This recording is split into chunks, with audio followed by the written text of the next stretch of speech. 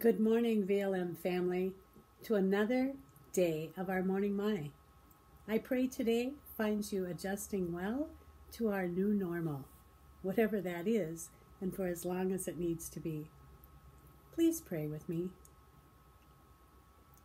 Gracious Lord, be with us as we take a break this morning and concentrate on the blessings you have bestowed on us. Help us to live safely and efficiently throughout these troubled times and beyond. Be with us all and give us strength to endure. In your name we pray. Amen. My name is Myrna Peterson, an active VLM Builders Club member since the mid 1980s, a volunteer cook at Camp Hiawatha for two summers, a former board member, a lover of family camp, and a promoter of all forms of outdoor ministry.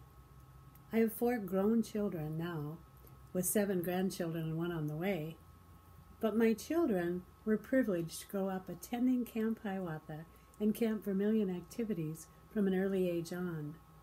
We all cherished our time spent praising God in our great North Woods. Those of you who know me now probably never knew me when I was on two feet. 25 years ago now, I was in a serious car accident which left me paralyzed from the neck down from an incomplete fracture at C4, C5. My new mobility came in the form of a power wheelchair. At the time of my accident, I was a single mom with four very active teenagers, and I was employed as an elementary classroom educator. I was in inpatient therapy for seven months at Miller Dwan Hospital in Duluth, and then came home to my role as a mom to those four teenagers. As a result of a misdiagnosis of my spinal cord fusion, those first five years after I came home were compounded with severe pain. I'd like to talk a little bit today about how my physical and emotion, emotional pain has turned into a blessing how can that be, you ask? Well, it didn't happen right away. You see, to help camouflage that pain, my doctor prescribed increasingly large dosages of narcotic medication. Unfortunately, that did not stop the pain and left me in a very subdued, lethargic mental state. These times were very stressful trying to be a supportive mom with a huge change in my physical abilities and a mental and emotional condition I had very little control of. God and I had several long talks throughout those sleepless nights and frustrating days. I longed for my life to be normal again and active at camp and all the activities at church that I was missing out of. My physical pain was the feeling of electricity running throughout my body from my chin to the ends of my fingers and toes 24 7. I was very sensitive to any air or movement around me. That was helped a little by having my entire body, except my head, covered and the noise level was kept at a minimum. Can you imagine a household with four teenagers and their friends ever being quiet and free of motion? My four teenagers were my angels, though. They still encouraged their friends to come on evenings and weekends to spend time with me in our home. I kept praying that the pain would go away so that I could have part of my life back, but that didn't happen, and my talks with God became more intense and demanding.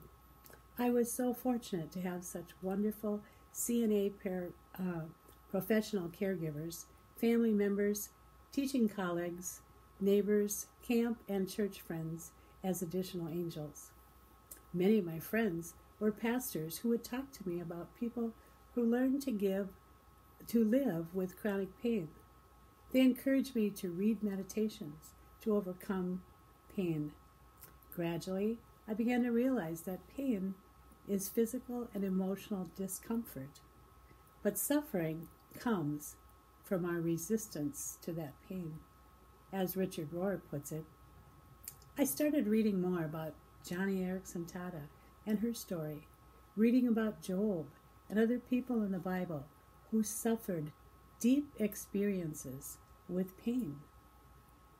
I learned that in order to endure my pain, I needed to embrace it. I need to grow deeper in my faith and trust and allow God to help me persevere through it.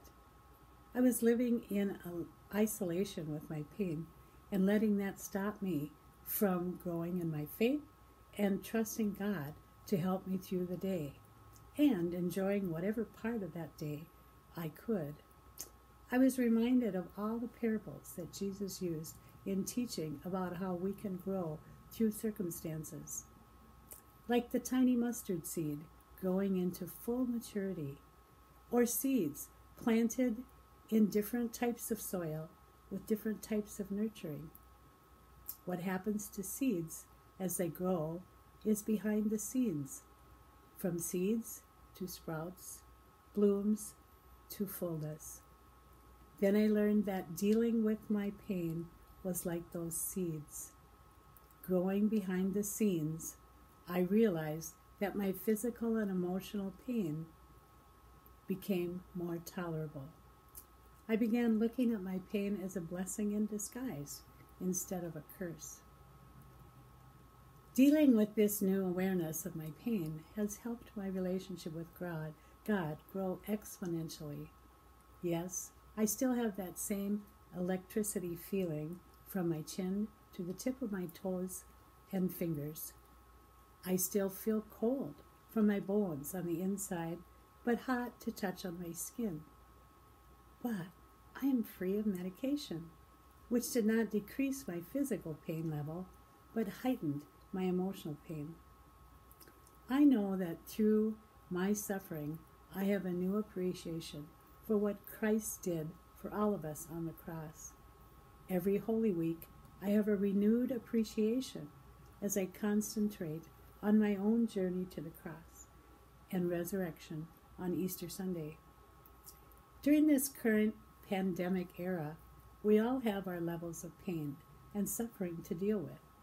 Maybe it's the loss of income, suffering from the virus itself, suffering from other illnesses, the loss of a loved one to death, divorce, or other separation anxieties. Pain is individual and real.